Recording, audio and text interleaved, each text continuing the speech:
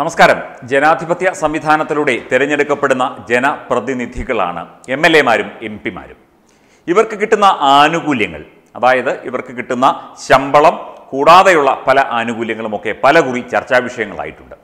ഒരു നിയമസഭയിലാണെങ്കിലും മറ്റ് പൊതുസഭകളിലാണെങ്കിലും പൂർണമായും എല്ലാ അംഗങ്ങളുടെ പിന്തുണ ലഭിക്കുന്ന ഒരു കാര്യം എന്ന് പറഞ്ഞാൽ ഇവരുടെ എം എൽ എമാരുടെ അല്ലെങ്കിൽ ജനപ്രതിനിധികളുടെ ശമ്പള വർധനവാണ്. എല്ലാവരും വളരെ സന്തോഷത്തോടെ കൈയടിച്ച് പാസ്സാക്കും മാത്രമല്ല അത് അതുകൂടാതെ ചികിത്സാ ചെലവ് യാത്രാപ്പടി അതുപോലെ തന്നെ വിവിധ വിഷയങ്ങളിലെ ആനുകൂല്യങ്ങൾ അതുപോലെ ട്രെയിൻ യാത്രയ്ക്കും മറ്റു കാര്യങ്ങൾക്കുമുള്ള സൗജന്യമായ ആനുകൂല്യങ്ങൾ മറ്റ് സംഭവങ്ങളൊക്കെ പലകുറി ചർച്ചാ വിഷയമായതാണ്. ഇതൊക്കെ നിർത്തലാക്കണമെന്നാവശ്യപ്പെട്ട് സുപ്രീം കോടതിയിൽ ഒരു പൊതു താൽപ്പര്യ ഹർജി ഫയൽ ചെയ്യപ്പെട്ടതായി അറിയാൻ കഴിഞ്ഞു. നമ്മളിത് പറയുന്നത് പിണറായി സർക്കാർ ഇറങ്ങിപ്പോകുന്നതിന് മുൻപ് ചെയ്തു കൂട്ടിയ ചില കാര്യങ്ങളുടെ അടിസ്ഥാനത്തിൽ കൂടിയാണ്. പേഴ്സണൽ സ്റ്റാഫ് അംഗങ്ങൾക്ക് ഒക്കെ കുത്തനെ ശമ്പളം കൂട്ടിയിരിക്കുന്നു. എല്ലാവരും സഖാക്കന്മാരാണ്. കുത്തനെ ശമ്പളം കൂട്ടിയിരിക്കുന്നു. മുൻകാല പ്രാബല്യത്തോടെ അതിന്റെ കണക്കുകൾ കേട്ടാൽ നമ്മൾ ഞെട്ടിപ്പോകും. അത് എങ്ങനെ അത് ഉൾക്കൊള്ളും എന്നുള്ള കാര്യം. കാരണം ഇവിടെ മുപ്പത് ദിവസവും കഷ്ടപ്പെട്ട് ജോലി ചെയ്താൽ ഞായറാഴ്ച പോട്ടെ വേണ്ട ഇരുപത്തിയാറ് ദിവസം കഷ്ടപ്പെട്ട് ജോലി ചെയ്താൽ കിട്ടുന്ന ശമ്പളം. ജീവനക്കാരുടെയും ശമ്പളം വർദ്ധിപ്പിച്ചിട്ടുണ്ട്. എന്നാലും യാതൊരു പണിയും ചെയ്യാതെ ഞെളിഞ്ഞിരുന്നു കൊണ്ട് ശമ്പളം പറ്റുന്ന ഈ പേഴ്സണൽ സ്റ്റാഫ് അംഗങ്ങളുടെ ഒരു കാര്യം ഒന്ന് ആലോചിച്ച് നോക്കൂ. മാത്രമല്ല അവർക്ക് പെൻഷനും ലഭിക്കും എന്നാണ് അറിയാൻ കഴിയുന്നത്. അതുപോലെ എം എൽ എമാർക്കും എം പിമാർക്കും അതെ രണ്ട് കൊല്ലം എം എൽ എ ആയിട്ടോ എം പി ആയിട്ടോ ഇരുന്നാൽ പെൻഷൻ ലഭിക്കും. അപ്പോൾ നമുക്ക് ആദ്യം ഈ എം എൽ എമാരുടെയും എം പിമാരുടെയും കാര്യം ഒന്ന് നോക്കാം. ആദ്യം ഒരു കൗൺസിലർ ആകുന്നു അതായത് സാധാരണഗതിയിൽ ഒരു പഞ്ചായത്തിലേക്കോ അല്ലെങ്കിൽ മുനിസിപ്പാലിറ്റിയിലേക്കോ ഒരാൾ കൗൺസിലറാകുന്നു പിന്നീട് നിയമസഭാംഗമാകുന്നു. പിന്നീട് എം പി ആകുന്നു അങ്ങനെ ഉണ്ടല്ലോ. അങ്ങനെ പടിപടിയായിട്ട് വരുമല്ലോ. ഒരാൾ ആദ്യം കൗൺസിലറായിട്ട് മത്സരിക്കുന്നു. അതിനുശേഷം ആ കാലാവധി പൂർത്തിയാക്കുമ്പോൾ അയാൾ എം എൽ എ ആകുന്നു. അതിനുശേഷം എം പി ആകുന്നു അല്ലെങ്കിൽ മന്ത്രിയാകുന്നു എന്തെങ്കിലും ആകട്ടെ. അപ്പോൾ ഏത് ലാവണത്തിലിരുന്നാലും ആ മൂന്ന് പെൻഷനും ഇയാൾക്ക് ലഭിക്കും എന്നുള്ളതാണ്. അതിപ്പോൾ ഈ മൂന്ന് വിഭാഗത്തിലിരുന്നാലും ഈ മൂന്ന് പെൻഷനും ഒരാൾക്ക് ലഭിക്കും. ഇവിടെ സർക്കാർ ജീവനക്കാർക്ക് രണ്ടോ മൂന്നോ പോസ്റ്റുകളിലോ ഡെപ്യൂട്ടേഷനിലോ ഒക്കെ ഇരുന്ന് കഴിഞ്ഞാൽ ഒറ്റ പെൻഷനെ ലഭിക്കും. ഇരട്ട ശമ്പളം ഇരട്ട പെൻഷൻ എന്നൊക്കെ പറഞ്ഞ് പല വിവാദങ്ങളും ഉണ്ടായിട്ടുണ്ട്. മാത്രമല്ല ഇവർ പൊതുസേവകരാണ്. സൗജന്യ സേവനം ചെയ്യാനുള്ള ആ അവകാശമാണ് ഇവർക്ക് ഭരണഘടന കൽപ്പിച്ച് നൽകിയിരിക്കുന്നത്. പിന്നെ എന്തിനാണ് ഇവർക്ക് ശമ്പളം കൊടുക്കുന്നത് എന്ന ചോദ്യം അവിടെ ഉയരുകയാണ്. അതിപ്പോൾ സുപ്രീം കോടതിയിലേക്ക് പൊതു താൽപ്പര്യ ഹർജിയായി പോയ വിഷയമാണ്. നമുക്കത് വിശദമായി അതിന്റെ വിശദാംശങ്ങൾ അറിഞ്ഞ ശേഷം നമുക്ക് ചർച്ച ചെയ്യാം. നിലവിൽ എം പിമാർ സ്വയം വോട്ട് ചെയ്യുന്നതിലൂടെ ഏകപക്ഷീയമായി ശമ്പളവും അലവൻസും വർദ്ധിപ്പിക്കുന്ന പരിപാടി നമുക്കറിയാം. ഞാൻ നേരത്തെ പറഞ്ഞു.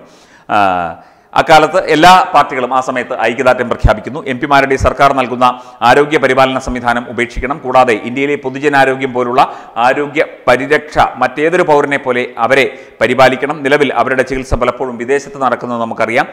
അവർക്ക് ഇത് വിദേശത്ത് ചെയ്യണമെങ്കിൽ സ്വന്തം ചെലവിൽ ചെയ്യണം. അതുപോലെ തെരഞ്ഞെടുപ്പിൽ മത്സരിക്കുന്നതിൽ നിന്ന് കുറ്റവാളികളെ തടയണം.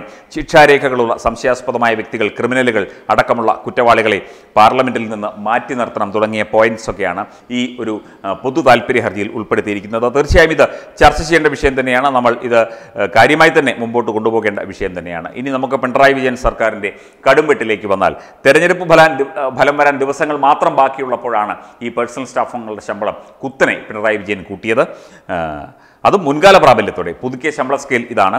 പ്രൈവറ്റ് സെക്രട്ടറിക്ക് അതായത് ഒരു മന്ത്രിയുടെ പ്രൈവറ്റ് സെക്രട്ടറിക്ക് ഒരു ലക്ഷത്തി ഏഴായിരത്തി എണ്ണൂറ് രൂപ മുതൽ ഒരു ലക്ഷത്തി അറുപതിനായിരം രൂപ വരെയാണ് പേ സ്കെയിൽ സ്പെഷ്യൽ പ്രൈവറ്റ് സെക്രട്ടറിക്ക് ഒരു ലക്ഷത്തി അത് തന്നെ. അഡീഷണൽ പ്രൈവറ്റ് സെക്രട്ടറിക്ക് ഒരു ലക്ഷത്തി അത് തന്നെ.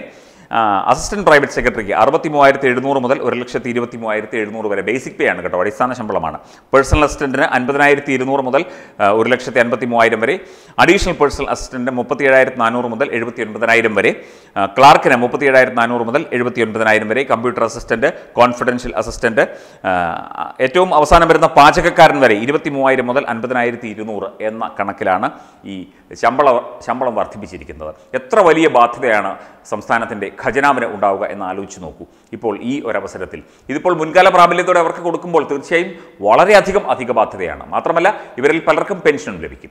ഈ രീതിയിലാണ് കാര്യങ്ങൾ ഇവിടെ ചിത്രീകരിച്ചിരിക്കുന്നത് അല്ലെങ്കിൽ ഇവിടെ നടപ്പിലാക്കിയിരിക്കുന്നത്.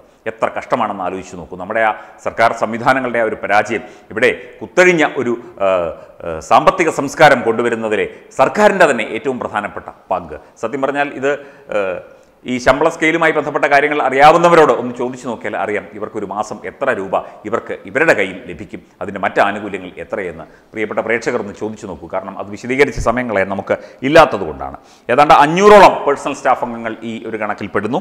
അതുപോലെ ഇത് യഥാർത്ഥ ഒരു യഥാർത്ഥമായ ഒരു ഒരു കൊള്ളയടി തന്നെയാണ്. ഖജനാവ് കൊള്ളയടിക്കൽ തന്നെയാണ് എന്ന അഭിപ്രായമാണ് ഇപ്പോൾ പൊതുസമൂഹത്തിൽ നിന്ന് ഉണ്ടാകുന്നത്. ഇപ്പോൾ എം എൽ എമാരുടെയും എം പിമാരുടെയും ഒക്കെ കാര്യം പറഞ്ഞതുപോലെ തന്നെ ഈ പേഴ്സണൽ സ്റ്റാഫ് അംഗങ്ങൾക്ക് ഇവർക്ക് എന്ത് യോഗ്യതയാണുള്ളത്? ഇവർക്ക് ഇവരുടെ യോഗ്യതയും മറ്റു കാര്യങ്ങളും ഒക്കെ കണക്കാക്കുമ്പോൾ ഇവർ ഈ മന്ത്രിമാരുടെ കൂടെ നിന്നു അല്ലെങ്കിൽ ഇവരുടെ കൂടെ നിന്ന് ജോലി ചെയ്തു എന്നുള്ളതല്ലാതെ അല്ലെങ്കിൽ തന്നെ പേഴ്സണൽ സ്റ്റാഫങ്ങളുടെ ഒക്കെ എണ്ണം വളരെ കൂടുതലാണ്. ഇതിനു മുൻപും ഇവരുടെ ശമ്പളം വർദ്ധിപ്പിച്ചിട്ടുണ്ട്. അപ്പോൾ ഈ രീതിയിൽ ഒരു സംസ്ഥാനത്തെ മുഴുവൻ പിണറായി വിജയൻ സർക്കാർ നോക്കുകുത്തികളാക്കി നിർത്തിക്കൊണ്ട് ഇളിഭ്യരാക്കി നിർത്തിക്കൊണ്ട് വെല്ലുവിളിച്ചുകൊണ്ട് ഈ രീതിയിൽ ശമ്പളം കൂട്ടിയത് ശക്തമായ പ്രതിഷേധത്തിന് ഇടവച്ചിരിക്കുകയാണ് സഖാക്കൾക്കിടയിൽ പോലും. ഇനി ആ സഖാക്കളെ പേഴ്സണൽ സ്റ്റാഫ് അംഗങ്ങളാട്ടി അംഗങ്ങളാക്കി എടുക്കാത്തത് കൊണ്ടാണോ എന്നറിയില്ല. എന്തായാലും വളരെ ഞെട്ടിപ്പിക്കുന്ന ഈ സ്ഥിതി വിവര കണക്കുകളാണ് ഇപ്പോൾ പുറത്തു വന്നുകൊണ്ടിരിക്കുന്നത് വെബ് ഡെസ്ക് തത്തുമൈ ന്യൂസ്.